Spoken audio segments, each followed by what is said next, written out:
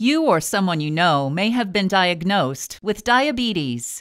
This video will show you what it is and why it's important to keep it under control. People can have different symptoms with diabetes. Common symptoms include feeling very hungry, feeling very thirsty, urinating often, fatigue, blurry vision, and slow healing of wounds. People with type 1 diabetes may also experience weight loss. Symptoms of type 1 diabetes usually develop suddenly. They may make a person feel very ill. On the other hand, symptoms of type 2 diabetes usually develop slowly.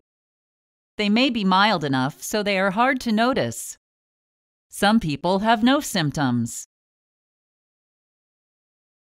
If your high blood sugar level isn't treated, life threatening complications can result. For example, you can become severely ill with a condition called diabetic ketoacidosis. It's more common in people with type 1 diabetes. Here's how it happens. Because you have little or no insulin in your blood, your cells can't get the sugar they need for energy. As a result, your body turns to fats and proteins for energy. As your body breaks down the fats, certain substances, known as ketone bodies, build up in your blood. This results in a condition called ketosis. If ketones build up to dangerously high levels in your blood, you may develop diabetic ketoacidosis, or DKA. This may result in coma or death.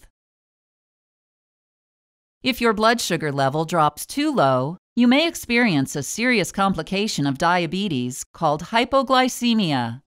A common way this can happen is by taking too much diabetic medication or not eating.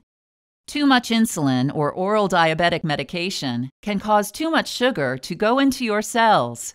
Then your blood sugar level drops down too low. Certain organs, such as the brain, need a constant energy supply to work properly. Because the brain's main source of energy is sugar, it's the first organ affected by lower sugar levels.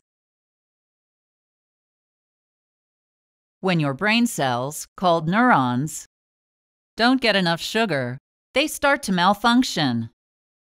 Symptoms such as nervousness, shakiness, and confusion can result. If your blood sugar keeps dropping, your brain does not have enough energy to work properly. This can result in seizures or diabetic coma. If your blood sugar level remains high over time, long term health problems can occur. They include heart and blood vessel disease, stroke, blindness, nerve damage, kidney disease, and amputation of a foot or leg.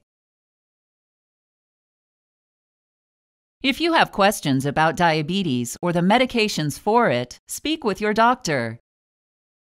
It is important to take your medications as directed by your doctor. Tell him or her about any side effects you have.